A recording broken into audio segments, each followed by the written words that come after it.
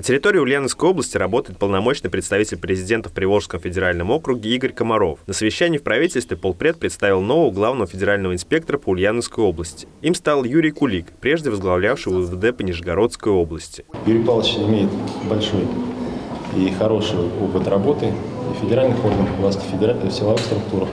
Вообще большой жизненный опыт. И я думаю, что у него получится, он быстро и эффективно сможет включиться в эту важную работу. Важная работа инспектора заключается в выполнении послания президента Федеральному собранию. Игорь Комаров обозначил улучшение демографической ситуации и вопросы строительства, в частности решение проблем дольщиков, в числе приоритетных для федерального инспектора. Главнее э, задачи, чем реализация национальных проектов, э, я для себя и э, вместе с ними и не вижу на территории Ульяновской области. 50 региональных проектов в рамках 11 национальных проектов огромные деньги, которые президент выделил нам для Ульяновской области, 12 миллиардов рублей, которые мы должны не просто израсходовать, а эффективно э, направить на улучшение качества жизни, на создание действительно по-настоящему высокопроизводительных рабочих мест. Губернатор отметил, что улучшение жизни в области остается одной из важнейших задач. Из-за невысокого уровня жизни ульяновцы уезжают работать в другие регионы. Эту проблему необходимо решать совместными усилиями, отметил Сергей Морозов. Контролировать выполнение национальных проектов в послании президента будет как раз главный федеральный инспектор.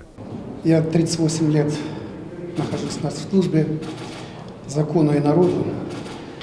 В должности главного федерального инспектора направлений деятельности, конечно, больше.